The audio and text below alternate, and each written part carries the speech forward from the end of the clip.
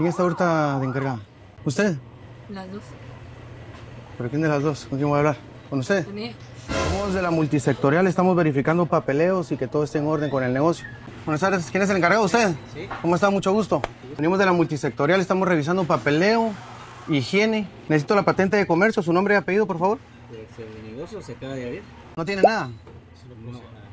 Mire, la cuestión es de que si usted no tiene ningún documento que ampare el negocio que está abierto, nosotros vamos a proceder a cerrarlo en este momento.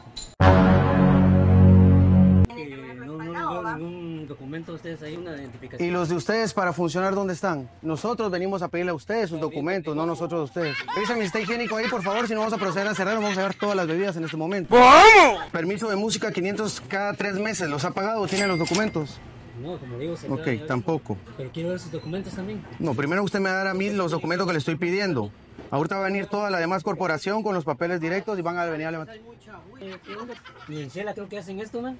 ¿Usted de dónde viene? O sea que porque allá no se hace, aquí no lo tenemos que hacer. Desde ninguna ciudad capital. Es que no le tenemos que dar a us- a usted no le tenemos que dar ninguna identificación.